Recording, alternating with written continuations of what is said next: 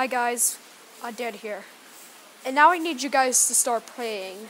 Um, uh, my grandma, Carol, is having something funny with her heart. She has been having some shoulder pains for the last couple of days and just, I, I'm worried, and there's something funny going on with her heart and, and I don't know if she's gonna make it or not.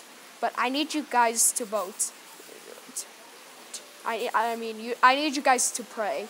But my grandma Carol's an African American. I hate to say that, but I have an uncle who's an African American. So my grandpa got a divorce with my grandma that I always see, and and my um and um my grandpa married an African American. Then in 1994 had my uncle Brandon. Then in 1999 had my aunt Destiny. My aunt my aunt is actually a year younger than my sister. That's actually a possibility.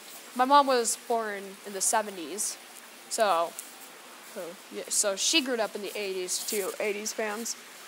But even though, tell your friends to subscribe to this channel, and I hope you guys pray about her because I don't know if she's gonna make it or not, but of course she's gonna make it. Of course we're gonna say prayers on Thanksgiving.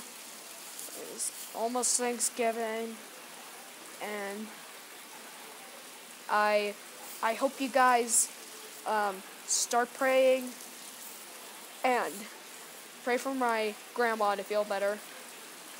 And I'm feeling worried right now. So, I'll see you guys later.